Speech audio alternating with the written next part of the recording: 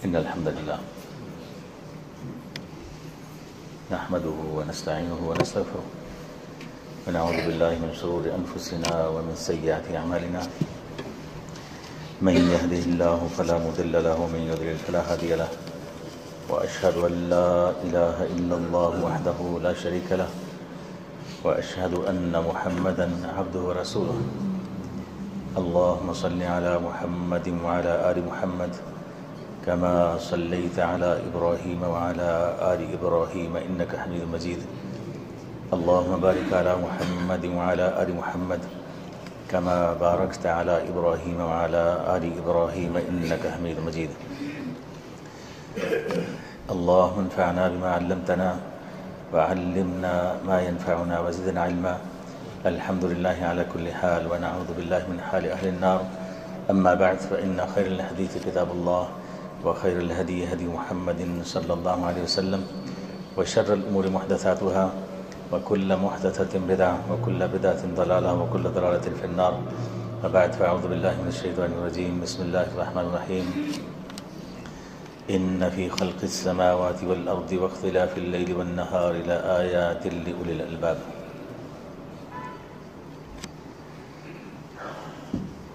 غور و فکر اور تدبر و تفکر کی بات ہو رہی تھی کہ اللہ تعالی نے انسان کو کائنات میں غور و فکر کی دعوت دی ہے اور تاکید کی ہے۔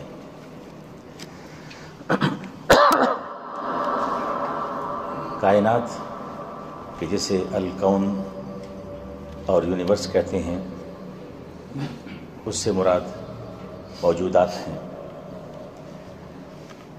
اور موجودات سے مراد کیا صرف یہ دنیا ہے کہ جس میں زمین اور آسمان ہے اور ان کے مابین کی تمام اشیاء ہیں، یا اس کے علاوہ کوئی اور کائنات بھی ہے۔ تو اس سے متعلق قرآن و حدیث میں سراحت کے ساتھ تو کوئی بات موجود نہیں ہے۔ البتہ کچھ اشارے ضرور ملتے ہیں، جیسا کہ اللہ فرماتے ہیں، یا معشر الجن والانس، ان استطعتم ان تنفذوا من اقطار السماوات والارض فانفذوا، لا تنفذون الا بسلطان. اے گروہ جن و انس، اگر تم زمین اور آسمان کی سرحدوں سے بھاگ سکتے ہو تو بھاگ دیکھو۔ نہیں بھاگ سکتے، اس کے لیے بڑا زور چاہیے۔ گویا کہ اس کائنات کے مابرہ کوئی اور کائنات یا کائناتیں بھی ہیں، مگر انسان میں وہ قوت و طاقت اور وہ صلاحیت نہیں ہے کہ اس کائنات کے خول سے باہر نکل سکے۔ لہذا انسان کو جو موجودات اور اللہ تعالیٰ کی جن تخلیقات پر غور و فکر کی دعوت دی گئی ہے، وہ اسی کائنات سے متعلق ہے کہ جس میں ہم رہ رہے ہیں۔ چنانچہ اللہ تعالیٰ نے انہی چیزوں کا کہ جو اس کائنات میں موجود ہیں، ذکر کر کے غور و فکر کی تاکید کی ہے۔ حتیٰ کہ آخرت کی نعمتوں کا ذکر کرتے ہوئے بھی اسی دنیا کی چیزوں کو تشبیہات اور تمثیلات کے لیے استعمال فرمایا ہے۔ جیسا کہ فرمایا، وسارعوا الى مغفرت من ربكم وجنت عرضها السماوات والارض عدت للمتقین اور اپنے رب کی بخشش کی طرف اور اس کی جنت کی طرف دوڑو، جس کا عرض آسمانوں اور زمین کے برابر ہے، جو متقین کے لیے تیار کی گئی ہے۔ اب دیکھیے اس آیت کریمہ میں آخرت کی نعمتوں کی کچھ تفصیل بیان کرتے ہوئے انہی موجودات کے ساتھ تشبیح بیان فرمائی ہے جو اس کائنات میں موجود ہیں۔ تو اللہ تعالی نے انسان کو اپنی مخلوقات میں بہت زیادہ تاکید کے ساتھ غور و فکر کی دعوت دی ہے۔ اس دعوت غور و فکر سے مطلوب و مقصود کیا ہے؟ اس کے فوائد کیا ہیں؟ یہ جاننے سے پہلے ہم غور و فکر کی ضرورت اور اہمیت کو سمجھنے کی کوشش کرتے ہیں۔ غور و فکر انسان کی اس دنیا کی زندگی لیے کی بھی ضروری ہے اور آخرت کی کامیابی کے لیے تو یقیناً ضروری ہے، بلکہ شرط لازم ہے۔ جیسا کہ آپ جانتے ہیں کہ غور و فکر کا مطالبہ صرف انسان ہی سے کیا گیا ہے۔ اور اس کی وجہ یہ ہے کہ انسان ہی وہ مخلوق ہے جو غور و فکر کی صلاحیت رکھتی ہے۔ اللہ تعالیٰ نے انسان کو عقل سے نواز رکھا ہے۔ اگرچہ دیگر مخلوقات کو بھی عقل دے رکھی ہے، مگر ان کی عقل بڑی محدود ہے۔ اور وہ ایک محدود دائرے میں رہ کر ہی سوچ سکتے ہیں۔ جانور صرف کھانے پینے کی حد تک یا جسم کی دیگر بنیادی ضرورتوں کی حد تک ہی سوچتے ہیں کہ وہ جو چیز ان کے سامنے ہے، وہ ان کے کھانے کی ہے یا نہیں، ان کے استعمال کی ہے یا نہیں۔ مگر انسان اس سے بہت آگے کی سوچتا ہے۔ وہ سوچتا ہے کہ کوئی چیز کیا ہے اور کیوں ہے؟ اسے کس نے بنایا ہے؟ اور کیوں بنایا ہے؟ بنانے کا مقصد کیا ہے؟ اس چیز کے اضافی فوائد کیا ہیں؟ اور اس کے ممکنہ نقصانات کیا ہیں؟ اس چیز کا صحیح استعمال کیا ہے؟ اور اس کے غلط استعمال کے نتائج کیا ہو سکتے ہیں؟ انسان بہت کچھ سوچتا ہے۔ لہذا غور و فکر، یہ انسان کی ضرورت ہے اور غور و فکر یہ سنجیدگی کی علامت ہے۔ غور و فکر درست سمت گامزن گامزن ہونے کی ایک کوشش ہے اور غور و فکر کے بے شمار فوائد ہیں اور عدم تفکر کے بہت زیادہ اور بہت بڑے بڑے نقصانات ہیں۔ غور و فکر، انسان کی ضرورت بھی ہے اور اس کی مجبوری بھی۔ کوئی انسان دنیا میں بلا تفکیر نہیں ہو سکتا۔ فرق صرف اتنا ہے کہ کوئی شخص مثبت سوچ رکھتا ہے یا منفی سوچ رکھتا ہے۔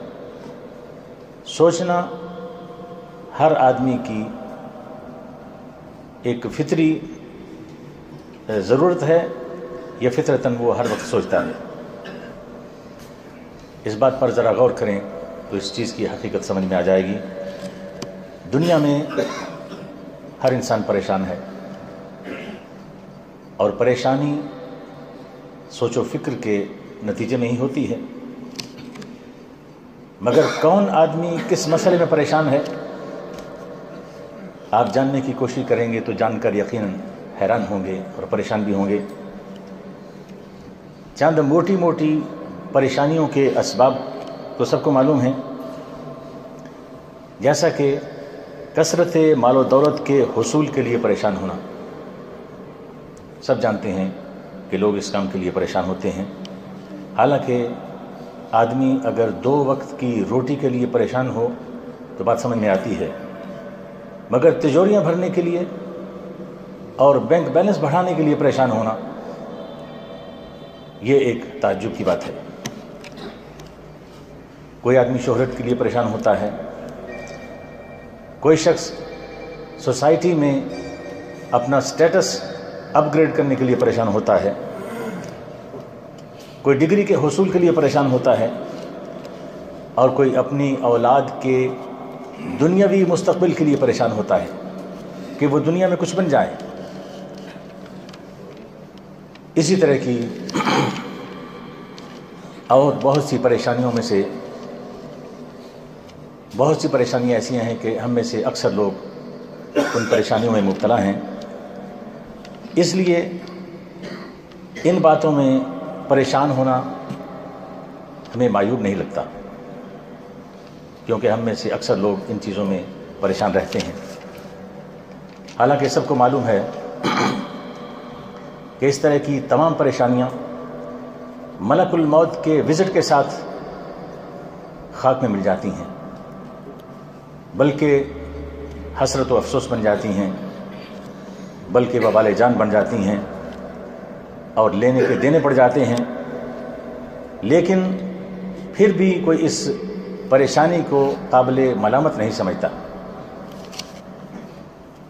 اور اگر ان سے ہٹ کر دوسری پریشانیوں کی جائزہ لیا جائے کہ جس میں بے شمار لوگ مبتلا ہیں، تو وہ یقیناً آپ کو نانسنس بے معنی محمل فضول، لغو اور وہ نامعقول نظر آئیں گی۔ آپ اس پر ہنس رہے ہوں گے، جبکہ وہی چیز جس میں وہ پریشان ہے، وہ اسے اپنی زندگی اور موت کا مسئلہ سمجھ رہا ہوگا۔ آپ نے یقیناً دیکھا ہوگا کہ کسی کھیل میں ہار جانے والے ٹیم اور اس کے شائقین اور پرستاروں کا کیا حال ہوتا ہے؟ روتے ہیں، چیختے اور چلاتے ہیں، کپڑے پھاڑتے ہیں، حتیٰ کہ کچھ لوگ خود سوزی کی کوشش کرتے ہیں۔ اور یہ بھی آپ نے دیکھا ہوگا کہ بہت سے لوگ اپنے ٹی وی توڑ دیتے ہیں۔ اور یہ سب کچھ کیوں ہے؟ یہ سب تفکیر کے نتیجے میں ہے۔ جو سوچ اس نے اپنا رکھی ہے، جس فکر میں وہ مبتلا ہے، یہ اس کے نتیجے میں ہوتا ہے۔ اور سوچ جب ٹیڑھی ہوتی ہے، تو اللہ تعالیٰ لوگوں کے دل ٹیڑھے کر دیتے ہیں۔ فلم ازا ہوں ازاغ اللہ قلوب جب لوگ ٹیڑھی سوچ اختیار کرتے کرتے ہیں، تو اللہ تعالیٰ ان کے دل ٹیڑھے کر دیتے ہیں۔ کیا بیٹھے رہو، تصور دنیا لیے رہے، لیے ہوئے۔ پھر مثبت سوچ ان کے قریب سے نہیں گزرتی بلکہ اللہ تعالیٰ ان کو اس کی توفیق ہی نہیں دیتا چنانچہ اللہ تعالیٰ فرماتا ہے سأصرف عن آياتي الذين يتكبرون في الأرض بغير الحق وإن يروا كل آية لا, يروا لا يؤمنوا بها وإن يروا سبيل الرشد لا يتخذوه سبيلا وإن يروا سبيل الغي يتخذوه سبيلا ذلك بأنهم كذبوا بآياتنا وكانوا عنها غافلين میں اپنی نشانیوں سے ان لوگوں کی نگاہیں پھیر دوں گا، جو بغیر کسی حق کے زمین میں بڑے بنتے ہیں۔ وہ خواہ کوئی نشانی بھی دیکھیں، اس پر ایمان میں لائیں گے۔ اگر سیدھا راستہ ان کو دکھائی دے، ان کے سامنے آئے، تو اس کو اختیار نہ کریں گے۔ اور اگر ٹیڑھا راستہ نظر آئے، تو اس پر فوراً چل پڑیں گے۔ اس لیے کہ انہوں نے ہماری نشانیوں کو جٹلایا اور ان سے بے پرواہی کی۔ تو جو لوگ ٹیڑھی سوچ اختیار کرتے ہیں کہ اللہ تعالیٰ نے جن چیزوں میں اور جن مقاصد کے لیے اور جن نتائج کے حصول کے لیے انسان کو غور و فکر کی دعوت دی ہے، وہ انہیں چھوڑ کر فضول اور فانی چیزوں میں اپنی تمام تر صلاحیتیں جھونک دیتے ہیں، تو پھر اللہ تعالیٰ اس کے نتیجے میں ان پر بدبختی اور بدنصیبی مسلط کر دیتا ہے۔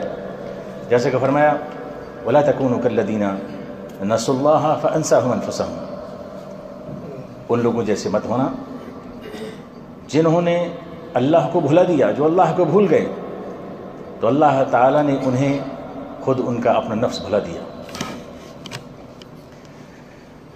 اور آپ جانتے ہیں کہ جیسے اپنا آپ یاد نہ ہو کہ وہ کون ہے، کہاں سے آیا ہے، اسے کہاں جانا ہے، اس کی منزل کیا ہے، اسے کن کاموں میں اپنی صلاحیتوں کو لگانا ہے۔ جب انسان کو یہ باتیں معلوم نہ ہوں، اپنے آپ کو بھول جائے، تو ایسا شخص بھٹکا ہوا شخص ہوتا ہے اور ایسا شخص یقیناً اپنی منزل نہیں پا سکتا۔ وہ کہاں جائے گا؟ اس کو معلوم ہی نہیں ہے۔ کہ اس کی منزل کیا ہے؟ اور اس سے بڑی سزا کیا ہوگی؟ کہ آدمی اپنے تئیں خوش ہو رہا ہو کہ وہ کسی بڑے کام میں مصروف ہے، بڑی محنت سے کام کر رہا ہے، اور بڑی ترقی کرتا جا رہا ہے، اور جسے وہ ترقی سمجھ رہا ہے جیسے جیسے وہ ترقی کی منزلیں طے کرتا چل جائے گا، ویسے ویسے وہ اپنی حقیقی منزل سے دور ہوتا چلا جائے گا۔ اور یہ کوئی بہت مشکل بات نہیں ہے، بہت سمپل سی بات ہے۔ آسانی سے سمجھ میں آنے والی بات ہے کہ اگر کوئی شخص اپنی منزل کے مخالف سمت پر چل پڑے اور چلتا ہی چلا جائے اور اس بات پر خوش ہو رہا ہو کہ میں منزل کے قریب ہو رہا ہوں تو وہ نادانی ہے اس کی، حالانکہ وہ قدم قدم پر اپنی منزل سے دور ہو رہا ہے۔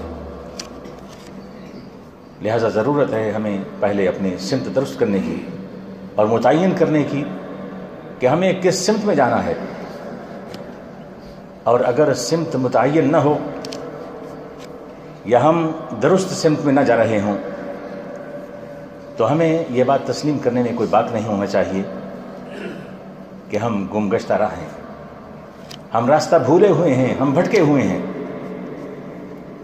اور اس حقیقت کو تسلیم کیے بغیر بھی کوئی چارہ نہیں ہے کہ ہم اگر خود اپنی ڈائریکشن صحیح نہیں کریں گے، تو اللہ تعالیٰ زبردستی ہمارا رخ تبدیل کرنے والا نہیں ہے۔ یہ اللہ تعالیٰ کے ہاں ایک قاعدہ ہے کہ نولی ہی ماوت اللہ کہ جو شخص جس طرف جانا چاہتا ہے، ہم اسے اسی طرف پھیر دیتے ہیں۔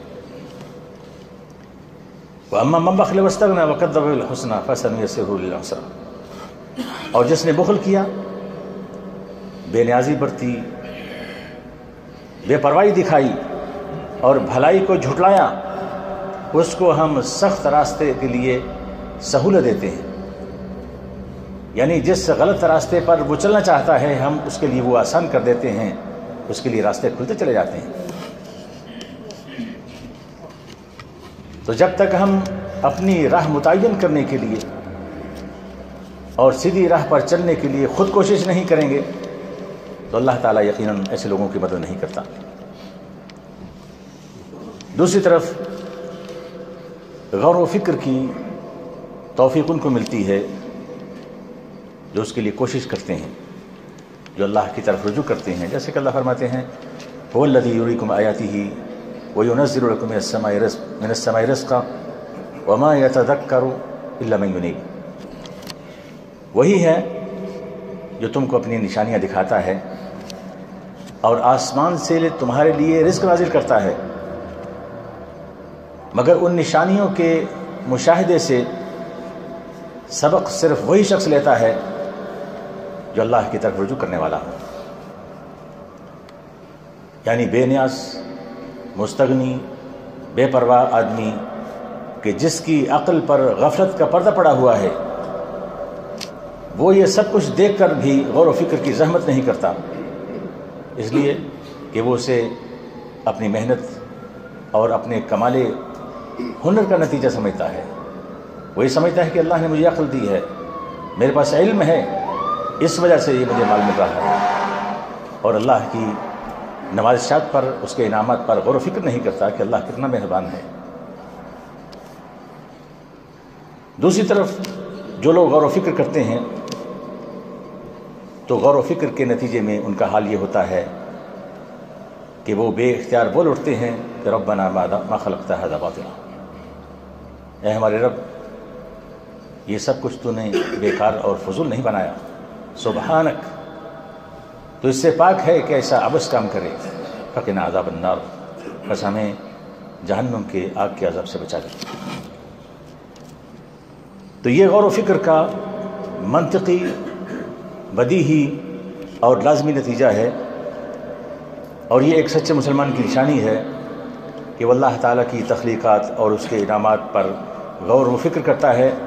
اور غور و فکر کے نتیجے میں وہ اس کا مشکور ہوتا ہے، اس کا احسان مند ہوتا ہے۔ اللہ تعالیٰ کی مخلوقات اور اس کے انعامات میں غور و فکر کی توفیق یقیناً اللہ تعالیٰ کا بہت بڑا احسان ہے، جس کو نصیب ہو جائے۔ مگر ہم اگر اپنے معاشرے کا رجحان دیکھیں تو وہ یوں ہے کہ سب سے پہلے تو لوگ اس کی ضرورت ہی محسوس نہیں کرتے۔ اور نہ ہی ان کے پاس اتنا وقت ہے کہ وہ اس طرح کے کاموں کے لیے اپنے دل و دماغ کی، اپنے جسم کی صلاحیتیں صرف کریں، اس لیے کہ ان کو ٹاک شوز سے فرصت نہیں ملتی۔ بڑے بڑے ٹی وی چینلز کے ہر ٹاک شوز کو دیکھنا ہوتا ہے، اور پھر ہر چینل کا مزاحیہ پروگرام بھی دیکھنا ہوتا ہے۔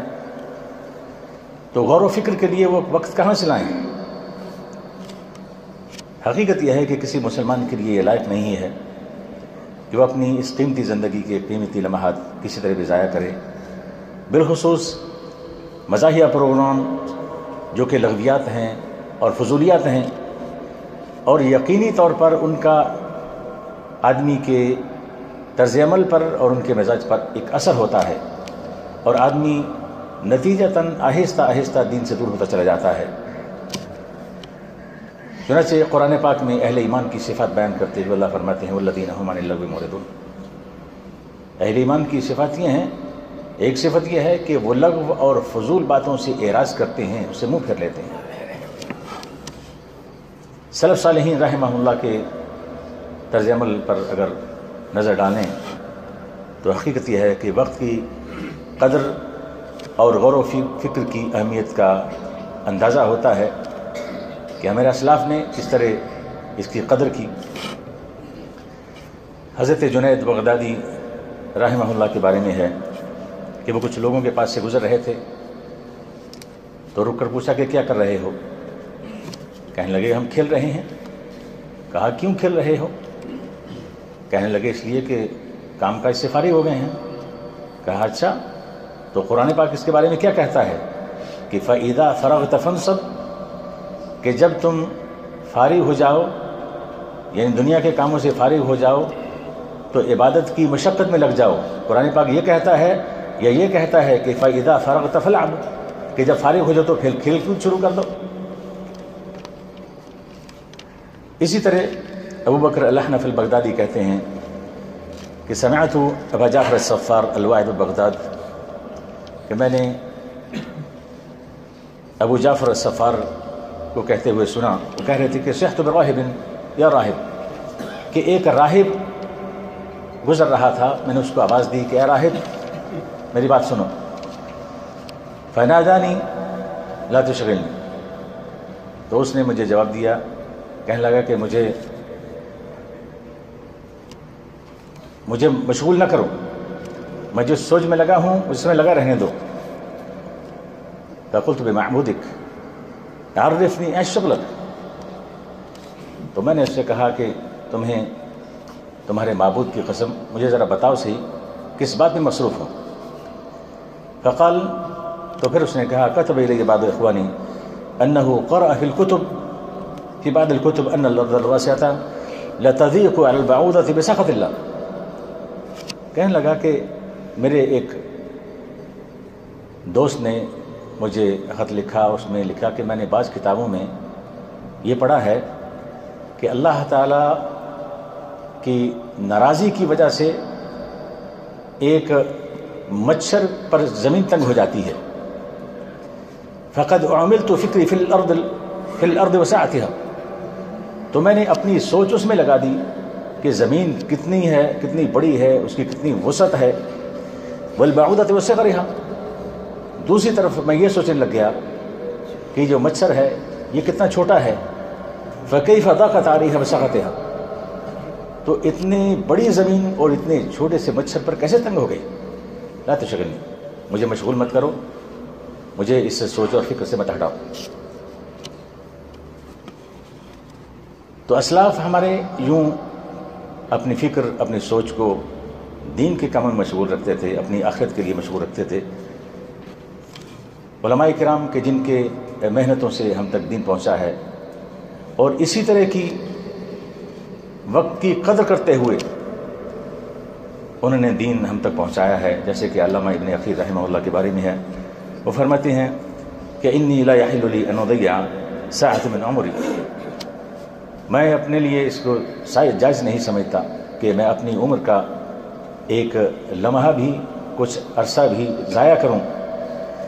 حتیٰ اذا تعطل لسانی عن مذاکرة مناظرہ جب کسی عالم سے یا کسی شخص سے بحث و مباحثہ سے میری زبان تھک جائے وبصری وبصری عن مطالعہ مطالعہ کرنے سے آنکھیں تھک جائیں عمل تو فکری فی حالت راحتی ون مستطر تو میں لیٹے لیٹے آرام کرنے کی نیت سے جب لیٹتا ہوں تو اپنے دماغ کو، اپنی سوچ کو اس میں لگا دیتا ہوں۔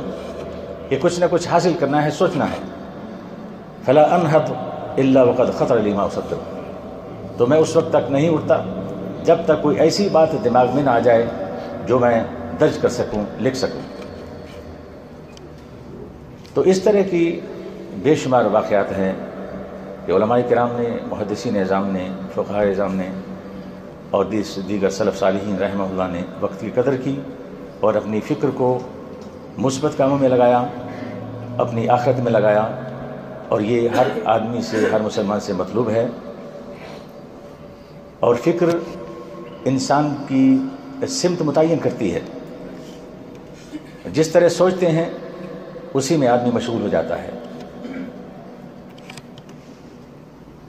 اللہ تعالیٰ نے اپنی مخلوقات میں بالخصوص بہت سی چیزوں کا نام لے کر غور و فکر کی دعوت دی ہے۔ اس میں کیا حکمتیں ہیں؟ اس کے کیا فوائد ہیں؟ انشاءاللہ آئندہ خطبہ جمعہ میں یہ جاننے کی کوشش کریں گے۔ اللہ تعالیٰ ہمیں سمجھنے اور عمل کرنے کی توفیق عطا فرمائے۔ وآخر تعالیٰ الحمد للہ